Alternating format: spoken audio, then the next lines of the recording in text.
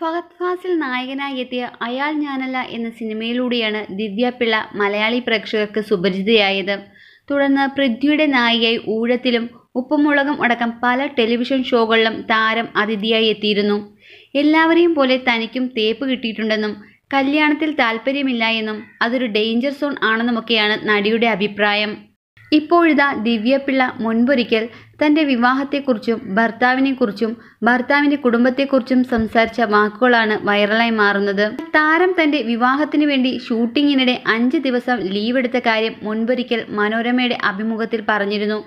കല്യാണം കഴിച്ച ശേഷമാണ് അയാൾ ഞാനല്ല എന്ന ചിത്രം അഭിനയിച്ചു തീർത്തത്. അയാൾ ഞാനല്ല എന്ന ചിത്രത്തിന്റെ ഷൂട്ടിംഗ് സമയത്തായിരുന്നു തന്റെ വിവാഹമെന്ന് നടി പറഞ്ഞിട്ടുണ്ട്. ഒരു കല്യാണമുണ്ട്. അഞ്ച് ദിവസത്തെ ലീവ് വേണമായിരുന്നു എന്നാണ് താൻ സംവിധായകൻ വിനീത് കുമാറിനോട് പറഞ്ഞത്. ആരുടെ കല്യാണമാണ് എന്ന് ചോദിച്ചപ്പോഴാണ് തന്റെ സ്വന്തം കല്യാണമാണ് എന്ന് നടി പറഞ്ഞതെന്നും അതോടെയാണ് ഇക്കാര്യം എല്ലാവരും അറിയുന്നതെന്നും നടി പറഞ്ഞു.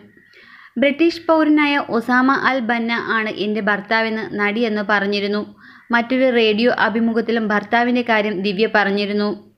ബന്നായുടെ ഡാഡി പതിനെട്ട് വർഷം മുൻപ് ഇംഗ്ലണ്ടിലേക്ക് കുടിയേറി ഇറാഖിയാണെന്നും മമ്മ ഇംഗ്ലീഷുകാരിയുമാണെന്നും ദിവ്യപിള്ള പറഞ്ഞിരുന്നു. പ്രണയവിവാഹമായിരുന്നു ഇരുവരുടേതും. എയർലൈനിൽ ജോലി ചെയ്യുന്ന സമയത്തുണ്ടായ പരിചയമായിരുന്നുവെന്നും ബന്നയ്ക്ക് ഇപ്പോൾ മലയാളം അറിയാമെന്നും ദിവ്യപിള്ള അന്ന് പറഞ്ഞിരുന്നു. തേപ്പുകഥകളെക്കുറിച്ച് പറഞ്ഞപ്പോഴും വിവാഹത്തെക്കുറിച്ച് എന്താണ് പറയാത്തതെന്നാണ് ആരാധകരുടെ ചോദ്യം.